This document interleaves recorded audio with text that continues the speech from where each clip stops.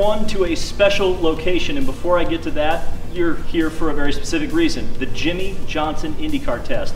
Who could have thought at the beginning of the year that the first IndyCar would be piloted by Jimmie Johnson that I would see drive around this hollowed speedway in 2020, but 2020 is such a weird year. Uh, it was an interesting test. There wasn't a whole lot of running, but I have some thoughts and I have some inside information to tell you about this particular test and what it may mean for the future.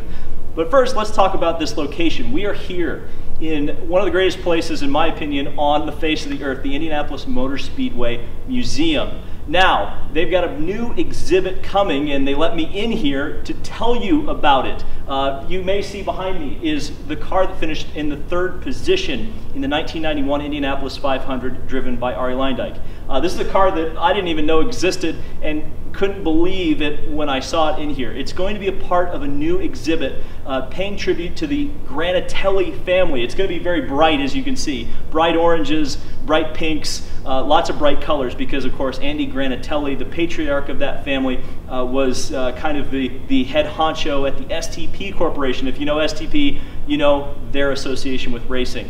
You should definitely come into the Indianapolis Motor Speedway Museum. Uh, they're a not-for-profit organization separate from the Indianapolis Motor Speedway, uh, so it's, it's always important to support them. They've done some great measures uh, in addition with the Indianapolis Motor Speedway to promote social distancing and make you feel safe here. And also, they've got the From the Vault exhibit as well, uh, which is just a bunch of amazing cars that have come from the basement. I know everybody uh, gets really excited when the basement is mentioned.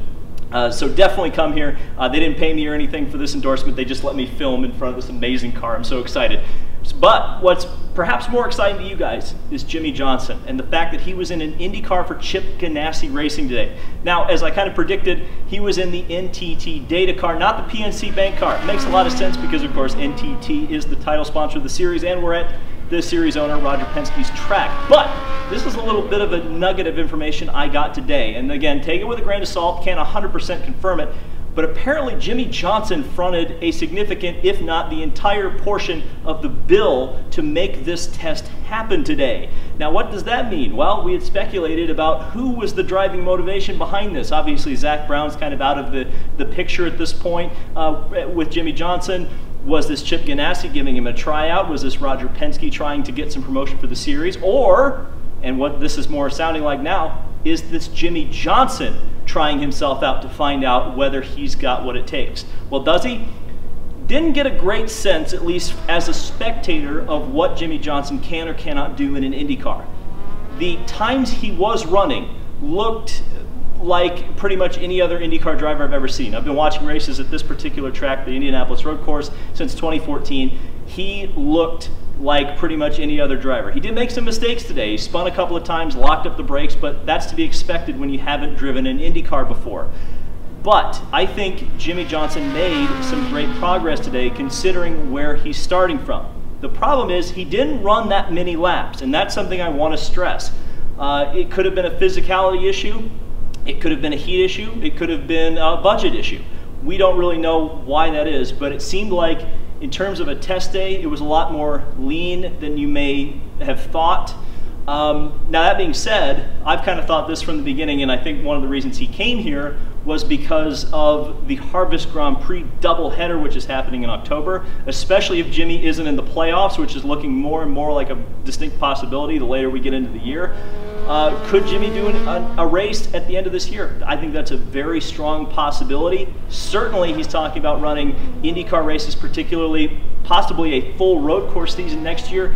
And there is also rumblings about him doing an Indy 500 run. We were even seeing some signs that maybe he might have taken a lap on the oval today. Believe it or not, we even saw a, a, small trailer come in with Chip Ganassi logos on it that certainly looked like there was a car inside.